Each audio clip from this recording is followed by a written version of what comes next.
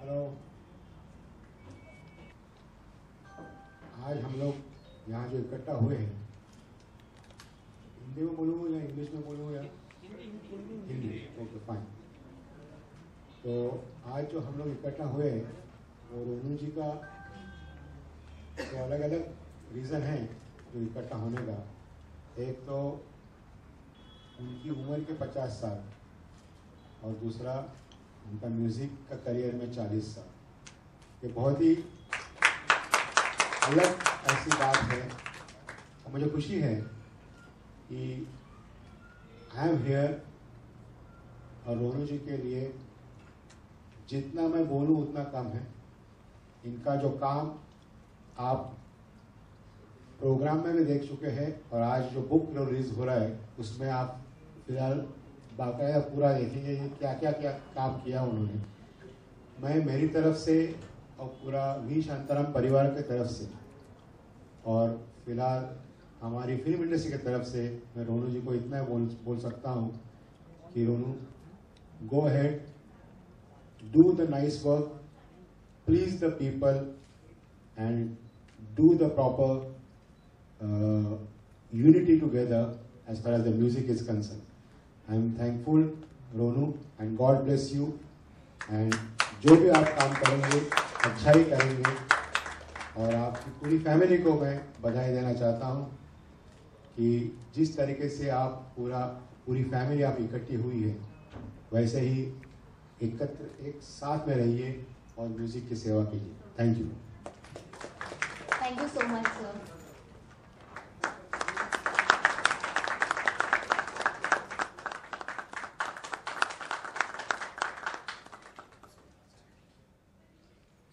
Stage पे विराजमान किरण शांताराम जी, भाई रोनू, मित्रों, दोस्तों लेडीज़ एंड जेंटलमैन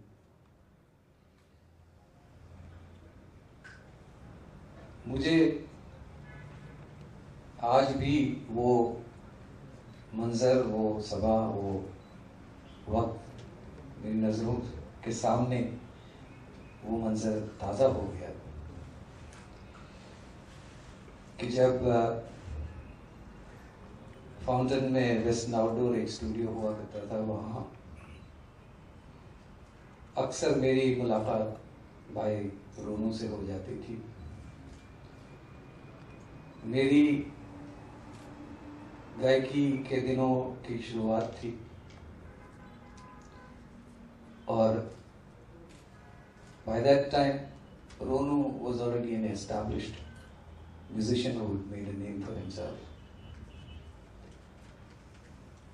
आज जब मैं रोनू की तरफ़ देखता हूँ तो मुझे ये महसूस होता है कि दो प्रकार के, दो किस्म के कलाकार होते हैं एक तो होते हैं एंटरटेनर्स कि जो लोगों का मनोरंजन करते हैं, लोगों को खुश करते हैं लेकिन दूसरे जो प्रकार के कलाकार हैं जिसे हम साधक कहते हैं।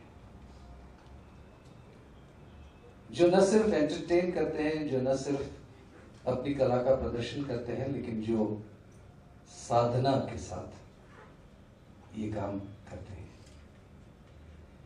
रोनू जी, सही में एक साधक हैं, क्योंकि उन्होंने बांसुरी, जो कि देखने में बड़ा आसान सा एक वाद्य है, एक बड़ा आसान सा साज है, लेकिन बजाने में बहुत ही मुश्किल साज है।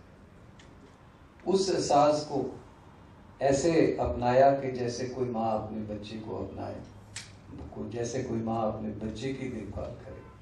उन्होंने उस साज को पिछले 40 सालों में उस साज से दुनिया के कई कोनों में और दुनिया के कई हिस्सों में भारत का नाम रोशन किया है। पंडित रविशंकर जी के साथ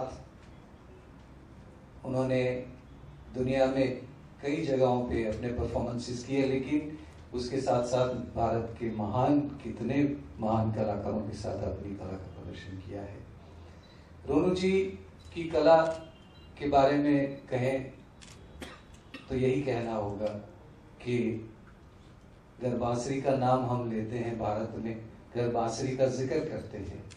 तो उनका नाम अवल नामों में आता है।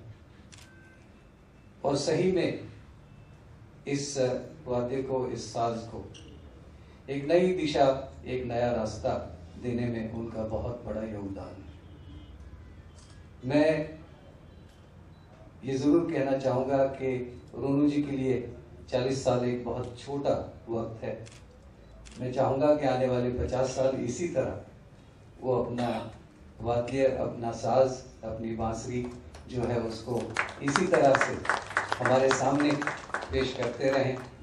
उनकी बांसुरी की गुंज, उनकी गूंज और उनकी जो आवाज़ है वो पूरी दुनिया में इसी तरह सब कोने को रोशन करती रहे उनकी बांसुरी की आवाज़। और ख़ास करके आज के इस मौके पे कि जब उनकी biography which is photo biography मैं uh, बेसब्री से मुझे इंतज़ार है कि मैं उसे देखना भी चाहूँगा उसे सुनना भी चाहूँगा। मुझे यकीन है कि उसमें बहुत सारी ऐसी तस्वीरें कैद होगी उस किताब में कि जो रेयर होंगी जो बहुत अमूल्य होंगी।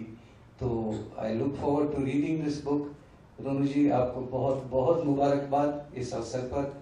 और जैसे मैंने पहले कहा कि ईश्वर से यही प्रार्थना कि ईश्वर आपको बहुत अच्छा स्वास्थ्य दे और आप इसी तरह संगीत की साधना जो है, इसी तरह करते रहें।